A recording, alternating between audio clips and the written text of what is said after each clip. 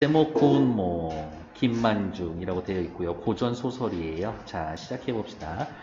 조선 후기의 고전 소설로 소설이래요. 소설이니까 어디에 들어갈 거야? 서사갈래에 들어가겠지. 서사갈래. 승려 승진이가 꿈속에서 양소유가 되어서 8명의 여성과 인연을 맺고 부귀공명을 누린 다음 꿈에서 깨어나 그것이 허망한 것임을 깨닫는 내용을 통해 밑줄 부귀 영화가 한낱 꿈에 지니지 않는다라는 불교의 인생관 불교 사상 중에서도 이렇게 하나 쓸까요? 빌공자 써서 공터 할 때 공사상이라고 확인을 할게요. 근데 가만히 살펴봤더니 요거지 부귀 공명을 누려 얘는 유교에서 이야기하는 입신양명 사상이에요.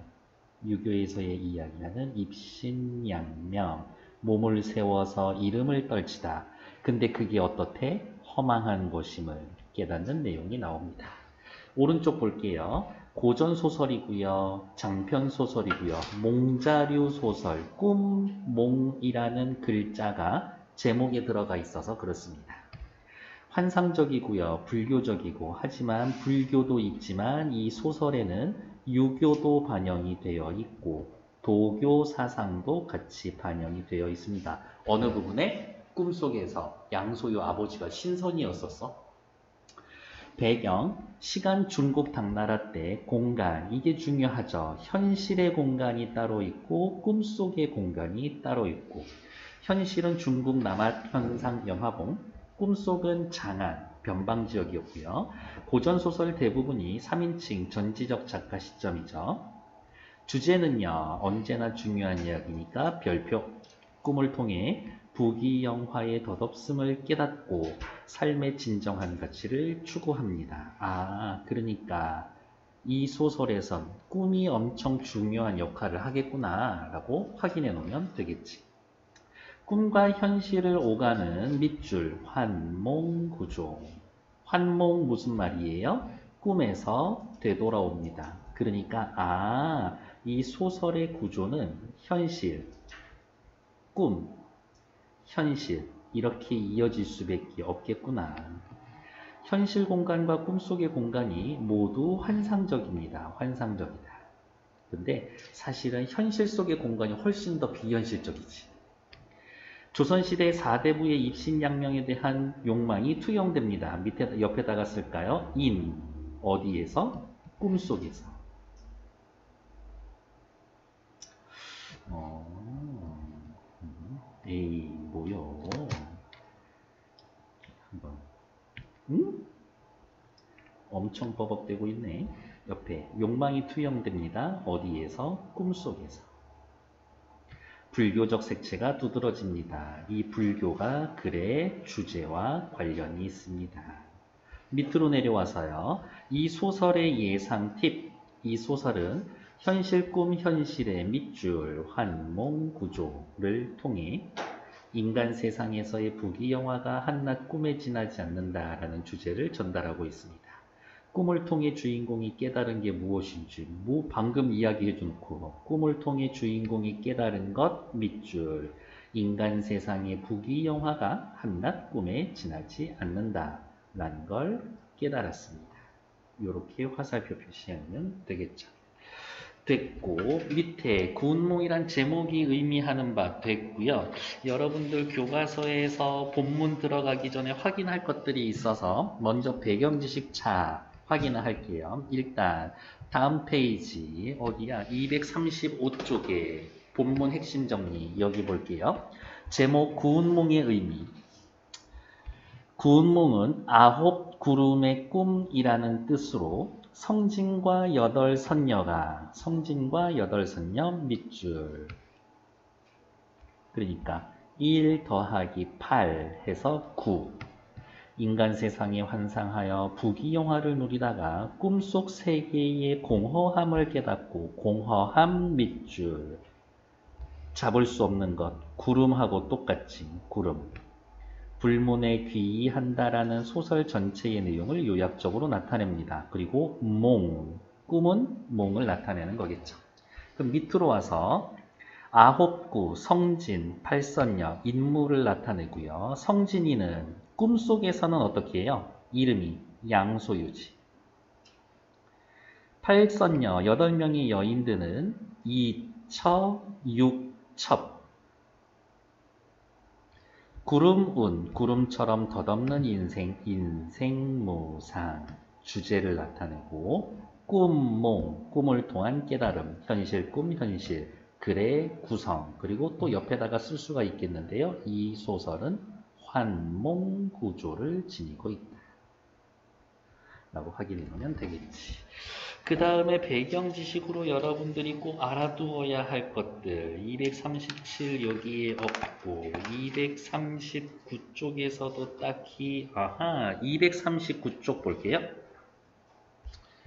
밑으로 내려오셔서 양소유가 인생무상을 느낀 이유는 뭡니까? 본문에 나오겠지만 벼슬이 장상에 이르고 부귀 풍류를 누리지만 죽고 난 뒤 오랜 세월이 지나면 결국 모두 사라질 것이다. 이러한 이야기를 하면서 야 옛날에 끝발 날리던 황제 3명 걔네들이 살던 무슨 궁 무슨 궁 무슨 궁 이런 것도 흔적이 없는데 황제 밑에 있는 나도 죽으면 아무것도 남지 않겠지? 라고 생각하는 것.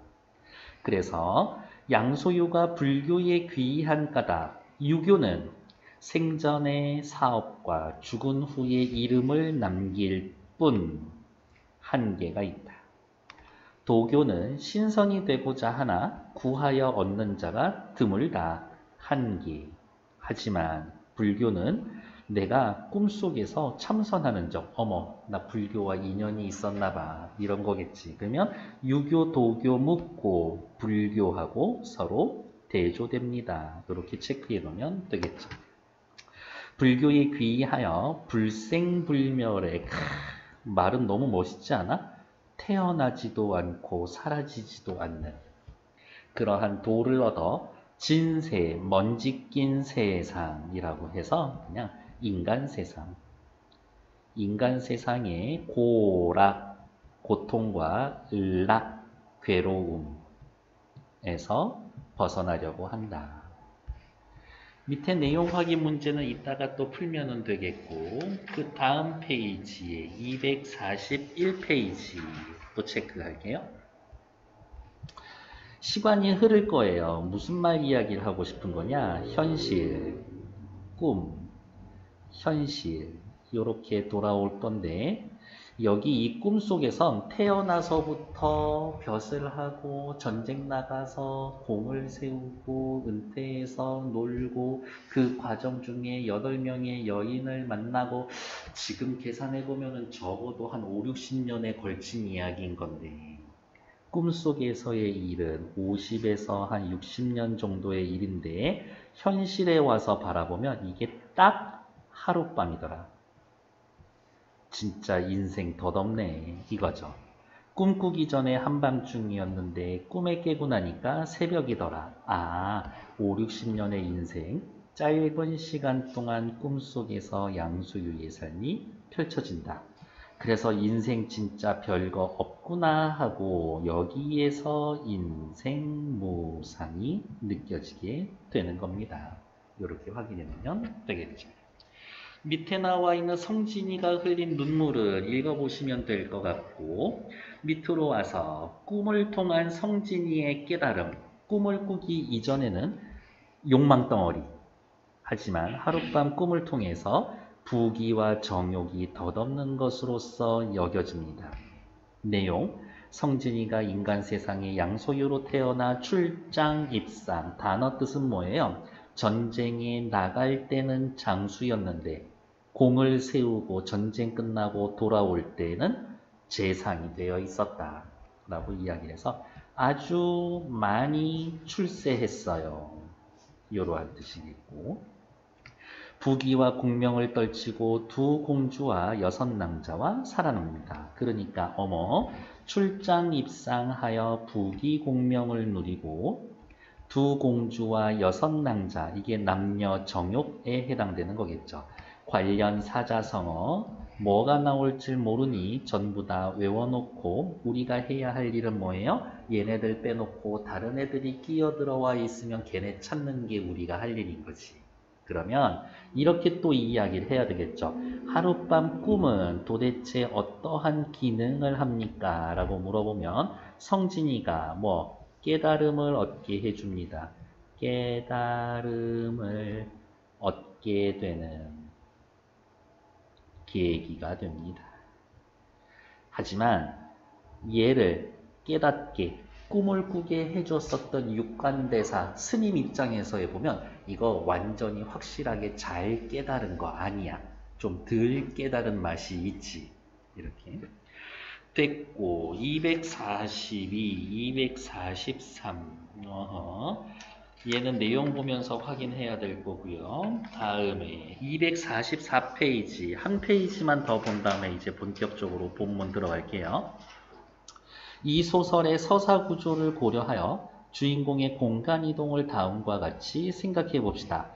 꿈꾸기 전, 꿈속, 꿈 깬 후라고 되어 있지만 다시 쓸까요? 현실. 꿈속이니까 말 그대로 꿈. 꿈에서 깨어났습니다. 현실. 물론 이제 세세한 내용을 적으면 꿈에 들어갑니다. 입몽. 꿈에서 깨어났습니다. 각몽. 뭐 이러한 말을 쓸 수가 있는데 어, 여러분 교과서에서는 꿈속의 장면도 뭐야 환상적이다라고 했지만 실제로 대부분 다른 교과서에서는 현실이 환상적이고 현실이 환상적이고 꿈속이 오히려 현실적인 환몽구조. 그래서 다른 교재에서는 이러한 말을 잘 써줍니다. 뭐? 역설적 환몽구조.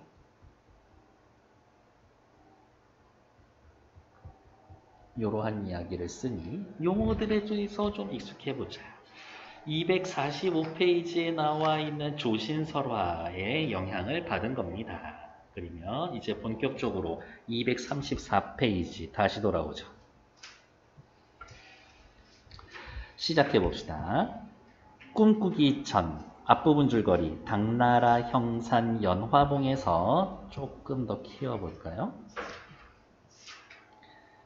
육관대사가 절을 짓고 부처의 가르침을 전하고 있었다.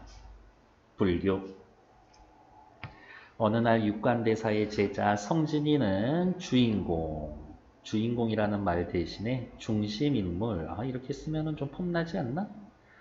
동정호 용왕에게 인사를 드리러 가고 내용은 뭐냐면 이렇게 설법을 베풀 때마다 용왕이 와서 맨날 열심히 잘 듣고 가. 그래서 스승님이 야 가서 감사하다고 인사 좀 하고 와라. 그래서 성진이 보낸 거거든. 위부인의 시녀들인 팔성녀는 육관대사에게 인사를 드리러 옵니다. 위부인 시녀들 밑에다가 쓸까요? 8명. 이때 성진이가 동정호수에 이르러서 물결을 헤치고 수정궁으로 들어가니 물속의 궁궐에 들어가니 그러니까 당연히 비현실적이죠. 비현실적이라는 말을 쓰기도 하고 전기적이다 이런 말을 또 쓰기도 하죠. 용왕이 크게 기뻐하며 몸소 국문 밖에 나가서 말했다. 아, 이거 놓치면 안 되지. 용왕이라는 말 자체가 도교 사상과 관련되어 있는 인물입니다. 성진을 상자에 앉히고 우와 엄청 대우해 주지. 진찬 맛있는 음식을 갖추어서 잔치를 열어 대접하며 용왕이 손수 잔을 들어서 무슨 잔 술 먹이려고 하는 거죠. 성진이 말하기를 술은 마음을 흐리게 하는 광약, 미칠 광, 약, 약, 사람을 미치게 하는 약이라 불가에서 크게 경계하는 것이니 술에 대해서 부정적이죠. 왜? 광약이니까요. 사람을 미치게 한다. 사람을 정신을 잃게 한다. 사람을 미치게 한다. 정신을 잃게 한다. 불교에서 부정적으로 생각하는 욕망을 추구하게 만든다. 욕망을 추구하게 만든다. 감히 파괴를 하지 못하겠나이다. 저 이거 술 마시면 저 스님에서 쫓겨나요. 이 이야기지. 용왕이 말하기를 부처가 다섯 가지 계율로 술을 경계하는 줄을 내 어찌 모르리오마 알어 알어 부처님이 술 마시지 말라고 한 거. 궁중에서 쓰는 술은 인간의 광약과 달라서 잠옷 사람의 기운을 화창케 하고 사람의 기운을 맑게 만들어주고 마음을 방탕하기에 아니하나이다. 즉 궁중에서 쓰는 술은 사람들 일반 세상에서의 마시는 미친 광약과 서로 달라요. 그러니까 어때? 에이 한잔 해. 이것이.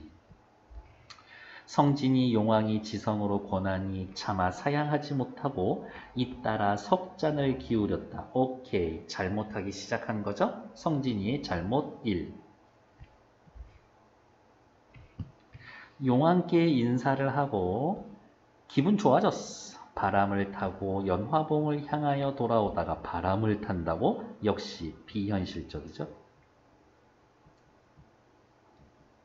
산 아래에 이르러 스스로 깨닫기를 술 기운이 올라 낯이 달아오르니 마음속으로 생각하기를 술 먹고 시뻘개졌는데 사부께서 이상하게 생각하여 크게 꾸짖지 않겠는가? 지가 잘못했으니까 염려하고 있다. 걱정하고 있죠. 아, 스승님한테 혼나면 안 되는데. 그러니까 어떻게 들어가기 전에 술 깨고 들어가야지. 즉시 냇물로 내려가서 웃옷을 벗고 두 손으로 물을 움켜 취한 낯을 찢는, 씻는데 취한 낯을 씻는 이유는 뭐예요? 혼날까봐 걱정돼서. 문득 기이한 향내가 코로 진동하여 냄새가 너무 좋은데 어 향로에서 향 피운 것도 아니고 화초, 풀과 꽃의 향기도 아닌데 사람의 뼛속을 사무쳐 정신을 호탕하여 능히 표현을 할 수가 없었다. 이 향내에 어떻게 냄새가 너무 좋아서 정신이 어지러질 이러한 경우인 거죠. 흔들리는 꽃들 속에서 너의 샴푸 향이 느껴지는 것 같은 그런 느낌? 성진이 생각하기를 이 물의 상류에 무슨 꽃이 피었기에 이러한 향이 물에서 나는가 너무 궁금궁금 호기심을 참지 못하는 건 인간의 본성이죠. 다시 의복을 정제한 다음 물을 따라 올라가니 물을 따라 올라가는 이유는 뭐예요? 이러한 신기한 향의 근원지가 어딘가 찾으러 가는 거죠. 팔선녀가 석교 돌다리 위에 앉아서 서로 말하고 있었다. 밑에 그림 볼까요? 지금 팔선녀 뭐 하고 있어요? 지들끼리 길을 다 막아놓고 정말 쉬운 말을 쓰면 얘네들이 길막하고 있는 거지. 그러면 당연히 성진이 입장에서 뭐라 그래? 비켜줄래요? 라고 하면서 그때부터 수작이 들어가는 거지. 성진과 팔선녀가 서로 만나니 성진이가 육환장, 지팡이를 놓고 그 옛날 막 중국 도사들 나오는 큰 막 도력 있는 스님들 들고 다니는 지팡이 같은 거, 지팡이 대가리 큰 거, 이렇게 막 큰 링 같은 거 달려 있는 거.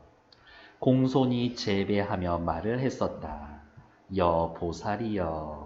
불가에서 여신도를 높여 부르는 말, 일단은 호칭으로서 상대방에 대해 존중하고 있다. 빈스는 가난한 승, 나는 누구 이야기를 하는 거야? 성진이 이야기를 하는 거죠. 나 별 볼 일 없어. 굉장히 겸손하죠. 연화도량 육관대사의 제자로 스승의 명을 받들어 산 밑에 나갔다가 장차 돌아오는 길입니다. 연화대사, 육관대사의 제자로 라면서 자기소개하고 있죠. 보통 길거리 지나가고 있는데 어떤 남자가 와가지고 저는 누굽니다라고 이야기를 하면 어떤 생각이 들어요? 그런 적이 없나? 그래서 어쩌라고? 뭐 보통은 그렇지는 않나? 근데 잘생겼어. 그래서 이 여인들하고 자꾸 대화가 오고 가는 거예요. 나 같은 사람은 말 거는 순간 고소당할 거야. 스승의 명을 받들어 산 밑에 갔다가 장차 돌아오는 길입니다. 좁은 돌다리 위에 그대들이 앉아 있어서 남자와 여자가 같은 길에 함께 있을 수 없으니 뭐라고 쓸까요? 남녀 유별. 부디 잠시 발걸음을 옮겨주시면 길을 빌리고자 합니다. 그래서 팔선녀가 이야기하기를 다음 페이지 우리는 위부인들의 시녀들입니다. 역시 자기소개 위부인이라는 것 자체도 역시 도교 사상이 반영되어 있는 거예요. 부인의 명을 받들어 육관대사께 문안인사하고 돌아가는 길입니다. 첩들이 자신을 낮춰서 표현하는 거예요. 역시 서로 겸손해 길에서 남자는 왼쪽으로 가고 여자는 오른쪽으로 간다 라고 하였으나 이 다리가 매우 좁고 저희들이 이미 앉아 있으니 도인의 말씀이 마땅치 아니하니 바라건대 다른 길로 행하소서 라면서 간단하게 이야기하면 뭐예요? 나 너한테 길 비켜줄 생각 없어. 상대방이 길 좀 비켜주실래요? 라고 하는 제안을 거절하고 있다.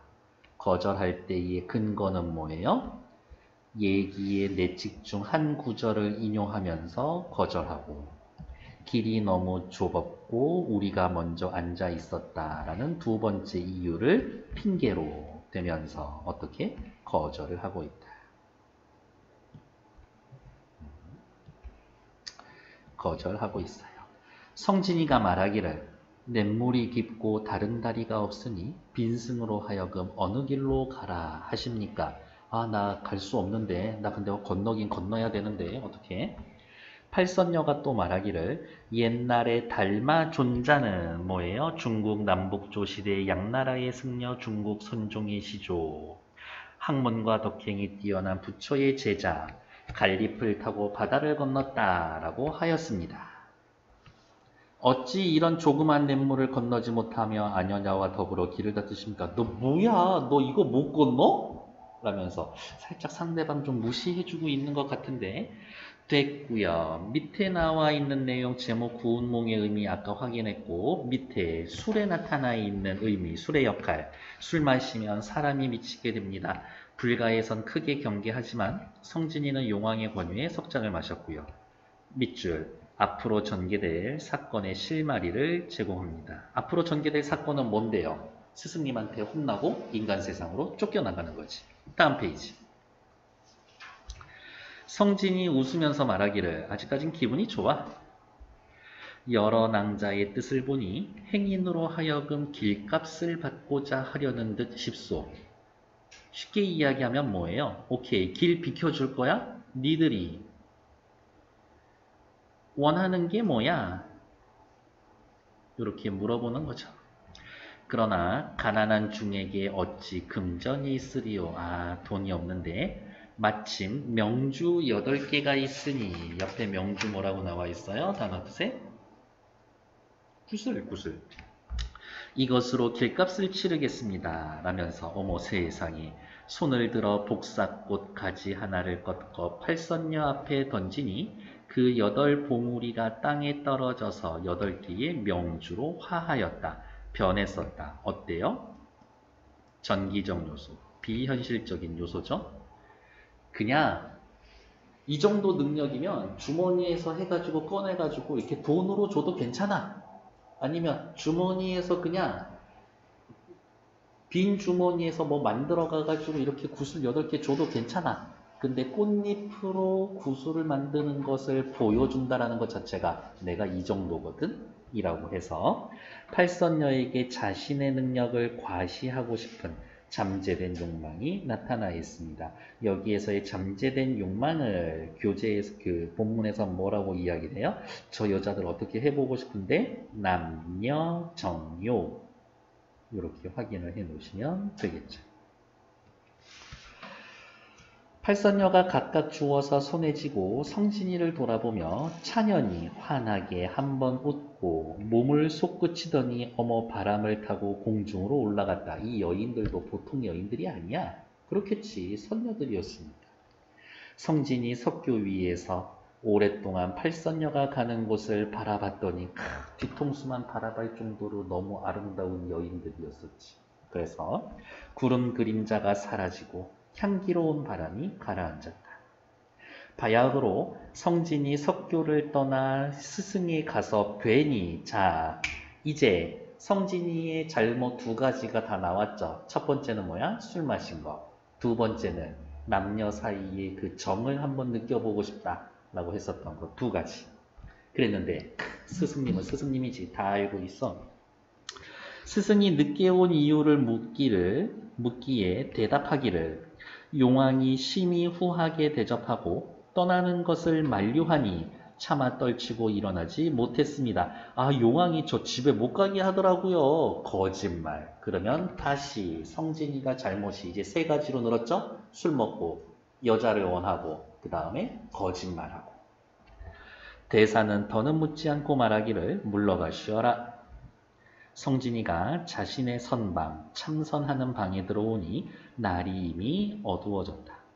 성진이는 여덟 선녀를 본 후에 정신이 황홀하여 마음에 생각하기를 하, 남자로 세상에 태어나서 어려서는 공자와 맹자의 글을 읽고 자라서는 요임금, 순임금과 같은 임금을 섬겨 전쟁에 나갈 때는 장수가 되고 들어올 때에는 정승이 되어서 출장 입상 비단 옷을 입고 옥대를 차고 비단 옷을 입고 옥대를 차고 라는 말은 높은 벼슬을 하고 높은 벼슬의 상징으로 비단옷, 옥대 이두 가지를 뽑았죠. 그래서 쓰여있는 표현법 찾으세요 라고 하면 대유법 찾으시면 됩니다. 대유법, 대유법 대표를 뽑아서 비유했다. 높은 벼슬 대표 비단옷 옥대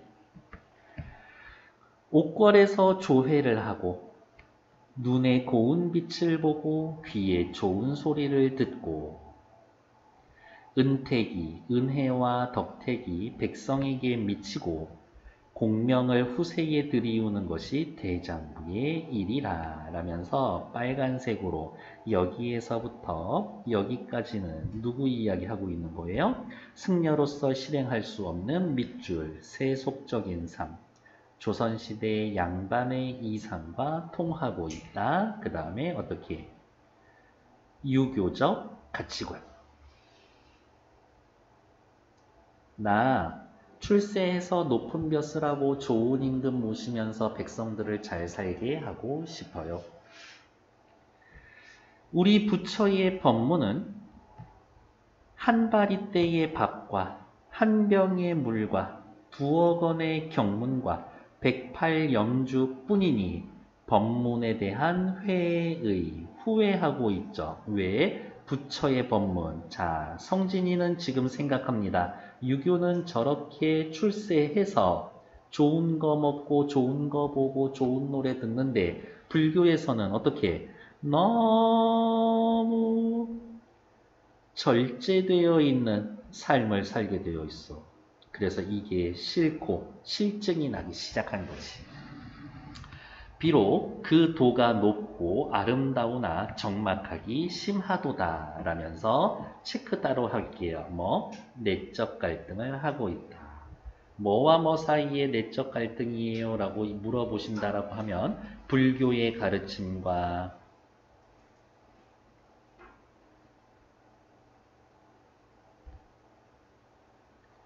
유교의 가치관 사이에서 내적 갈등하고 있어요. 생각이 이러하고 저러하여 자 밤이 깊었는데 어떻게 잠이 오지 않고 있죠? 전, 전, 반, 측. 문득 눈앞에 팔선녀가 서 있어 놀라서 다시 보니 이미 간 곳이 없더라. 큰일 났네. 헛거보고 있어. 이렇게. 성진이가 크게 놀라 뉘우치며 생각하기를 부처의 공부는 뜻을 바르게 함이 제일 큰 공부인데 내가 출가한 지 불가에 입문한 지 이미 10년에 일찍이 털끝만큼도 불가의 법을 어기고 구차한 마음을 먹지 않았다.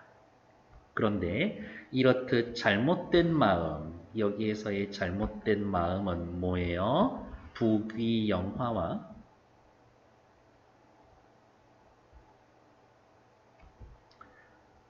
남녀 정욕을 탐하다, 욕망하는 것. 어찌 내 앞날에 해롭지 않겠는가? 어머 어머 어머, 나 미쳤나 봐, 미쳤나 봐. 나 왜 이런 생각하고 있는 거야? 돌았어, 돌았어. 향로의 전단을 다시 피우고 의연히 포단에 앉아서 정신을 가다듬어 염주를 굴리며 일전 부처를 외우는데 어때요? 갑자기 창밖에서 동자가 부르기를 사형은 주무시나이까 대사께서 부르십니다. 선배님 주무세요. 우리 큰 스승님께서 부르시는데요. 성진이 놀라 생각하기를 어머 이렇게 밤에 부른 적이 없는데 깊은 밤에 나를 부르시니 반드시 까닭이 있겠다. 동자와 함께 방장, 고승, 누구? 육관대사의 방 거처로 나아갔더니 어머 큰일 났네. 아무리 불교에서 열심히 돌을 닦아도 해지면은 가서 혼자서 참선하고 그러는데 사람들이 다 모여 있어. 모든 제자를 모아놓고 등촉, 촛불을 대낮같이 켜고 아 성진을 꾸짖기를 아이쿠야 스승님 이미 다 알고 계셨네. 성진아 네 죄를 아느냐? 그런데 우리는 어때요? 이 성진이의 죄 세 가지를 다 알고 있죠? 술 먹고 여자한테 수작 부리고 거짓말하고 세 가지 꼭 기억하세요. 성진이 섬돌 아래에 내려가 꿇어앉아 대답하기를 소자가 사부를 섬긴 지 10여 년이 되었으나 지금까지 조금도 불순히 행한 적이 없었으니 진실로 어리석고 아득하여 지은 죄를 알지 못하겠나이다. 어머. 성진이 입장에선 충분히 할 수 있는 얘기야. 아, 미쳤나봐 미쳤나봐 하고 자기 스스로 반성하고 그러지 말아야지 라고 하고 있는데 뚝 와가지고 너의 네 죄를 네가 알렸다 이거지. 대사가 말하기를 중의 공부에는 세 가지 행실이 있으니 몸과 말씀과 뜻이라 세 가지 행실을 올바르게 해야 한다. 몸도 올바르게, 말도 올바르게, 뜻, 생각도 올바르게. 네가 용궁에 가서 술에 취하고 석교에서 팔선녀와 만나 말로 수작하고 꽃가지를 던져 희롱하고 돌아온 후에도 오히려 팔선녀의 미색을 사랑하여 세상의 부귀를 흠모하고 불가의 적막함을 싫어하니. 어 대박 너무 무섭지 않아? 성진이 머릿속에 다 들어가 있어. 한 거를 다 본 거지 이 세 가지 행실을 한꺼번에 무너뜨려 버린 것이다. 그럼 체크할까요? 몸 1번 말씀 2번 뜻 3번. 술에 취한 거 1번 언어로 수작한 거 2번. 세상의 부귀를 흠모하고 불가의 적막함을 싫어했었다. 3번. 너는 이 세 가지 행실을 한꺼번에 무너뜨렸다. 따라서 어떻게 너 벌받아야 한다. 라는 얘기를 하고 싶은 거겠죠. 꿈에 이제 들어갑니다. 생략된 줄거리. 성진은 저승의 염라대강에 놀려나가 인간 세계로 추방이 되고 그렇지. 이 불가나 이런 데서의 최고의 벌은 파문시키는 거지. 벌을 받고 중국 회남도 수주 땅에서 양소유로 태어납니다. 근데 양소유라는 말 자체가 소, 적게, 조금, 유, 유원지, 유흥업소 할 때 그 유자야. 조금 놀다. 이런 뜻이에요. 이미 어떻게 양소유라는 이름 자체에서 무슨 얘기를 하고 싶은 거야? 꿈이라는 게 굉장히 아주 짧은 시간이구나. 라고 이야기를 해주는 거죠. 성진은요, 본성 성자의 참 진짜. 아, 이름도 그냥 지은 거는 아니었었어. 이렇게. 괜찮나요? 성진이 이름이 지훈이 이름이 안 돼. 내 이름도 안 되고 양소유는 과거에 급제한 뒤 반란을 평정하는 듯 나라의 공을 세워 높은 벼슬에 오르고 황제의 동수인 동생인 난양공주를 비롯하여 여덟 여인을 만나서 인연을 얻고 평생 부귀 영화를 누립니다. 여기를 묶을까요? 여기서부터 어디까지 마음껏 누립니다. 여기까지는 뭐예요? 꿈속에서의 일단 쓰자면 꿈속에서의 행적, 유교적 가치관 혹은 당시 사대부의 가치관을 반영하는 거죠. 사자성어 떠오르는 거 있어요? 출장, 입상, 양명, 어후세 입신, 양명 전부 다 출세합니다. 뭐 이런 이야기인 거니까요. 유교적 가치관. 하지만 이 글을 쓴 만중이 형님은 이 유교적인 가치관이라는 걸 어떻게 덧없어 라고 이미 이야기를 하고 있죠. 음? 덧없는 것이다. 근데 어느 날 자신의 집 누대에 올라 문득 인생이 허망함을 느끼며 인생이 허망하다 인생무상 자신의 심정을 이야기를 합니다. 236, 237페이지에서의 뭐 딱히 확인할 만한 것들은 없을 것 같고요. 오케이, 밑으로 내려옵시다. 성진의 내적 갈등, 속세에서의 삶, 장수나 정승이 되어 공명을 후세에 드리웁니다. 유교. 부처의 법문, 도가 높고 아름답지만 적막하기는 심합니다. 불교 가치관. 둘이 붙는 거죠. 하지만 자꾸 이거를 탐하더라고. 속세의 삶을. 물론 바로 정신 차렸지만 육관대사가 성진이에게 벌을 내려 인간 세상의 삶을 살도록 하는 원인이 됩니다. 왜? 세 가지 잘못을 했으니까. 세 가지 잘못 뭔데요? 여기에 나와 있는 세 가지 잘못에 대한 것들은 어려운 얘기는 아니니까요. 확인해 주시면 되겠고. 다음 237쪽 왼쪽 밑으로 내려오셔서 왼쪽 밑으로 내려오셔서 세 가지 행실을 어겼습니다. 몸, 말씀, 뜻. 요 세 가지 전부 다 확인해 놓으면 된다. 어, 별로 어려운 얘기는 아니죠. 이렇게. 어, 솔직히 생각도 못 해? 하면 안 되나 봐요. 이래서 제가 머리 깎고 절에 못 들어가나 봅니다.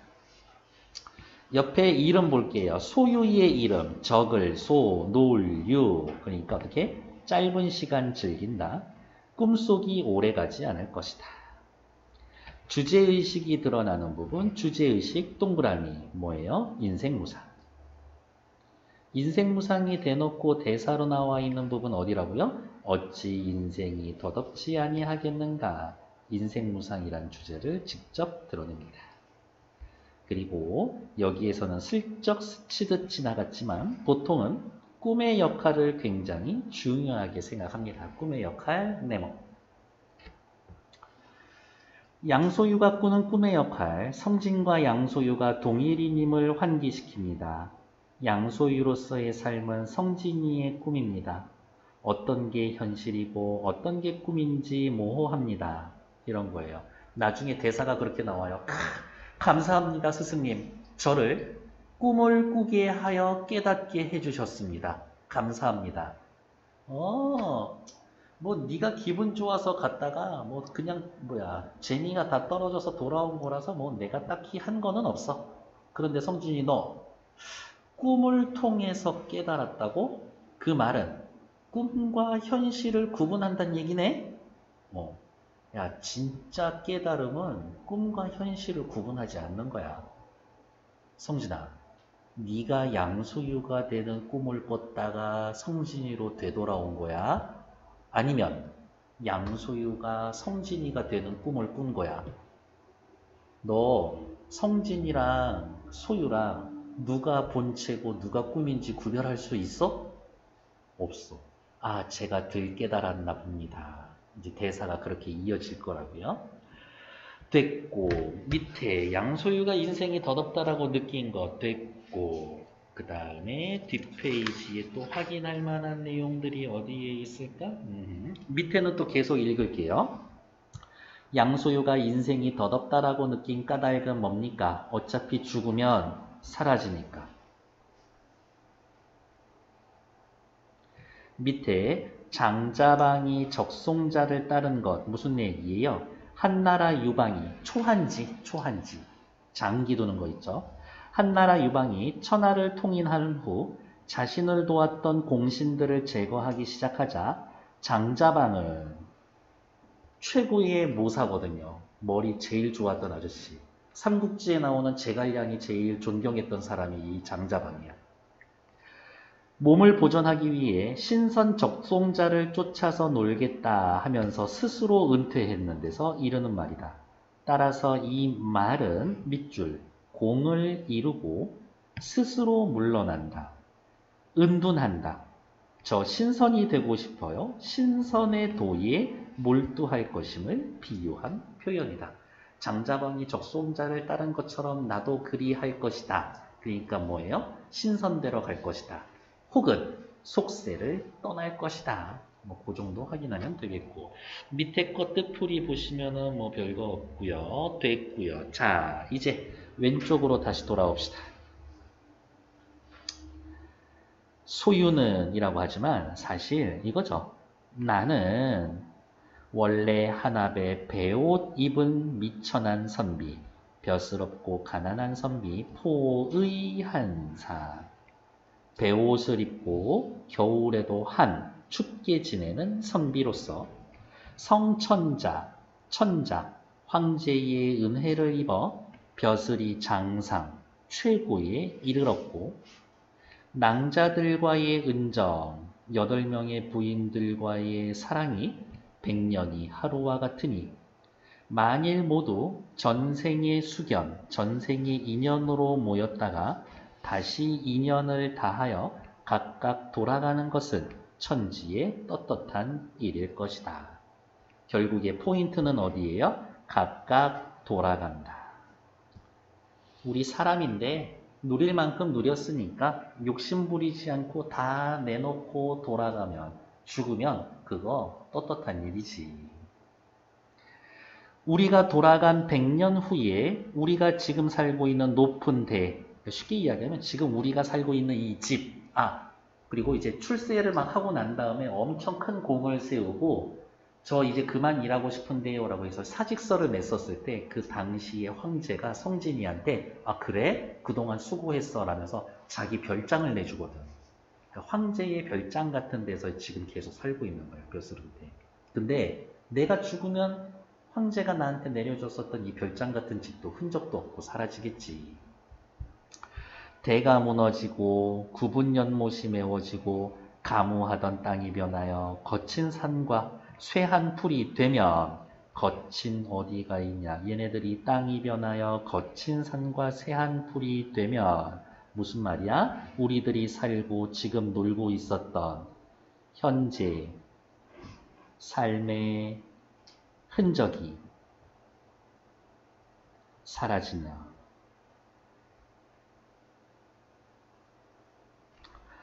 초부와 목동 괄호에서 묻고 어떤 사람들이에요? 아주 평범한 사람들. 그러니까 이 소설이 쓰여질 당시로 생각을 하면 초부와 목동, 나무꾼과 목동, 양소유 쳐다도 못 볼 사람들이 그곳을 오르내리며 탄식하며 말하기를 한 100년쯤 있다가 우리 집이 흔적도 없이 사라지면 초부와 목동이 야 여기가 옛날에 양승상이라는 애가 여러 남자와 더불어 놀던 곳이래. 승상의 부귀풍류와 여러 남자의 아름다운 모습은 어디에 갔느냐 밑줄 이라고 할 텐데 야 걔네들 그렇게 끝발 날리면서 잘 살더니 걔네들 현재에는 백년백기 안 지났는데 흔적도 없네 세상 별거 없구만 이라고 할 텐데 어찌 인생이 더덥지 아니한가 바로 인생무상이라는 주제를 나타내는 부분인 거죠. 부인들, 나 인생 별거 없다라고 생각해. 그런데 세상에서 유도, 선도, 불도, 유, 불, 선. 세 가지가 가장 높으니 이것을 삼교라고 부른다. 그런데 자, 이 부분이 중요하죠. 유교, 유도는 생전에 살았을 때의 사업과 신후 죽은 뒤에 이름만 전할 뿐이요. 유도의 한계. 신선은 세모. 예로부터 구하여 얻는 자가 드무니 한계. 일반 우리 사람하고 신선하고의 제일 큰 차이점은 뭐예요? 따지면 죽냐 안 죽느냐의 차이인 거야. 진시황, 한무제, 형종, 황제를 보면 알 수가 있다. 그렇죠. 진시황 그렇게 불사약 찾아가지고 죽기 싫어 죽기 싫어 했는데 결국에는 길에서 객사했죠. 아 황제도 못하는 걸 내가 어떻게 할 수 있겠어. 내가 벼슬에서 물러난 후 밤에 잠이 들면 꿈속에서 여기 꿈에다가 메모해 놓을게요. 이 꿈은 어떤 꿈이에요? 이 소설의 전체 구조를 이렇게 따지면 현재, 현실, 꿈, 현실에서 이 부분에 해당되는 거지. 그러면 이 꿈은 어떤 꿈이야? 꿈 속의 꿈이지. 꿈속의 꿈이라고 해서 별거 없어. 몽, 중, 몽이라고 이야기를 하죠. 매양, 포단 위에서 참선하는 모습을 보니 이것은 어머 필연 불가와 인연이 있는 것이라 어우 나 잘 때마다 내가 스님이 돼서 도 닦는 모습을 자꾸 꿈을 꿔. 이거인 거지. 그러면 생각합시다. 쓰지는 않을 거예요. 자 여기 칠판 봐주세요 요 꿈의 기능은 뭐예요 인생무상이라는 깨달음을 얻는 계기가 되게 해주지 그 다음 여기에 나와 있는 요 꿈은 불도와 불교와 인연이 있음을 짐작하게 해주는 꿈이지. 그래서 각각의 꿈의 기능이 다르다고. 다시 인생무상을 깨닫게 해주는 꿈, 불도와 인연이 있음을 알려주는 꿈. 내가 장자방이 적송자를 따른 것을 본받아서 장자방의 적송자를 따른 것 뭐라고요? 속세를 떠나는 것을 본받아 집을 버리고 스승을 구해서 남해를 건너 관세음보살 부처님을 찾고 오대에 올라 문수보살 부처님께 예를 다하여 밑줄 불생불멸의 도를 얻어 진세 고락을 벗고자 한다. 앞에 요 말을 넣을까요? 뭐 불교를 통해서 혹은 불도를 닦아서 태어나지도 살지도 멸하지도 소멸되지도 않는 도를 얻어 진세, 인간 세상의 고통과 즐거움에서 벗어나고자 한다. 그대들, 여기서의 그대들은 누구예요? 8명의 부인들을 이야기를 하는 거죠. 꿈속에선, 현실에서는 8명의 선녀들. 반평생 해로 하다가 갑자기 이별하려 하니 슬픈 마음이 자연스럽게 곡조에 나타난 것이다. 아, 나 머리 깎고 스님이 돼서 불도를 닦아야겠어 라고 결심은 했으나 다른 거는 다 아쉽지 않은데 이 부인들과 헤어지는 것은 조금 속상해. 모든 낭자들이 전생에 다 근본이 있는 사람이라 세속의 인연이 다 할 때니 이 말을 듣고 자연 감동하여 말하기를 세상에 인간 세상 떠나가지고 스님이 되겠다고요? 보통 스님이 돼야겠다라는 거는 막 힘들고 어렵고 이런 상황에서 그런 생각하는데 당신은 부귀 영화가 극에 달해 있는 상황에서 그런 생각을 했어? 너 대단하다. 이렇게 얘기를 할 거예요. 괜찮겠어요? 상공께서 누구예요? 양소유 이야기를 하는 거죠. 부귀 번화를 누리는 가운데에서도 이렇듯 청정한 마음, 청정한 마음의 내용 뭐예요? 라고 물어봐서 찾으세요 하면 여기 위에 밑줄 그어 놓은 거 찾으시면 되죠. 상공을 어찌 장자방의. 크, 여덟 명의 선녀들, 여덟 명의 부인들이 이야기합니다. 양수유가 누구? 장자방보다 훨씬 낫다라고 이야기를 하는 거지. 솔직히 장자방을 쫓겨나듯이 그렇게 간 거잖아요. 근데 당신은 그렇지도 않는데, 어, 대단하다, 멋있다.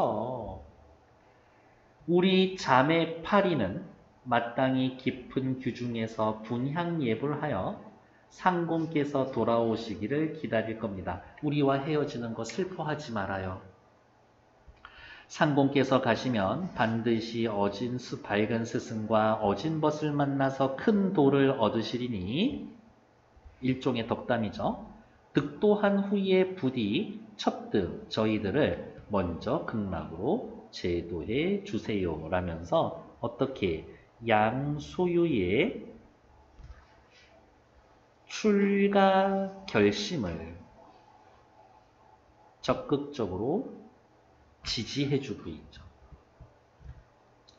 아, 우리 아홉 명의 뜻이 같으니 쾌사라 신난다. 나 당장 내일 떠날 거야. 그러니까 오늘 낭자들과 더불어 취하여 술을 마시리라. 뭐예요? 오늘 이별주 한번 작살나게 먹고 내일 안녕해. 이거예요. 모든 낭자들이 말하기를 저희들이 각각 한 잔씩 받들어 상공을 전송하리이다. 이야기하죠. 여덟 명이 한 잔씩이면 여덟 잔인데 어우씨 이 정도면 거의 나 한 8년치 마시는 술인데 술 안 마시고 이제 양쪽 양가 어른들 생신 때 한 4분의 1잔 정도씩 마시거든. 입술만 대고 술 마시면 기분이 좋나? 좋으니까 그렇게 사람들 술 마시고 있겠지? 절정 1. 인생 무상을 느낀 양소유가 불교들의 불문에 귀의할 것을 결심한 and 8명의 부인들이 굉장히 지지해주고 있다. 라는 겁니다. 됐을까요?